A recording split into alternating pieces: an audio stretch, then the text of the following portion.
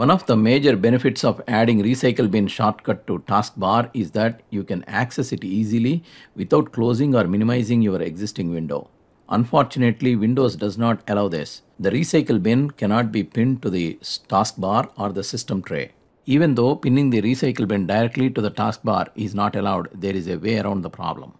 Follow these steps to successfully pin the recycle bin to the taskbar. Create a recycle bin shortcut. The first step to pinning the recycle bin to the taskbar is creating a shortcut for the recycle bin on the desktop. The recycle bin icon available on the desktop will not work. Right click on the recycle bin. There is no option to pin it to the taskbar. Right click on the desktop, select new from the context menu and click on shortcut. Create shortcut dialog box opens.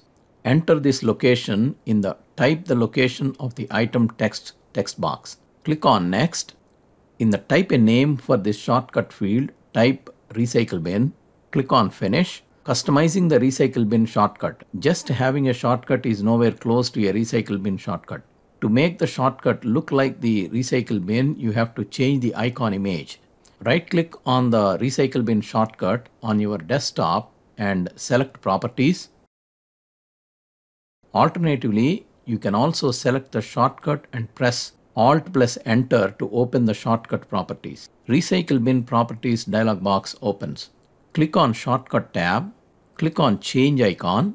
The icons you see at first are not recycle bin icons. The imageres.dll file contains many Windows 11 icons used almost everywhere in the operating system. It has icons for different types of folders, hardware devices, peripherals, actions, and so on. To select icon from the system icons, in the look for icons in this file text box, enter this address and press enter. Scroll through the icons to find the trash can icon. There are two trash can icons, an empty one and a filled one. Select the one you want, click on OK, click on apply button to apply the changes, then click on OK to close the box. You can now see the recycle bin replica on your desktop. Now pin the recycle bin icon to the taskbar. Right click on the recycle bin shortcut and select show more options in the context menu. Select pin to taskbar. The recycle bin is now pinned to the taskbar. You should now see the recycle bin in your taskbar. Click on it to open the recycle bin. Now you can delete the shortcut Right click on the shortcut and click on delete. Click on S to confirm. Now the shortcut is removed from the desktop and you have the recycle bin in the taskbar.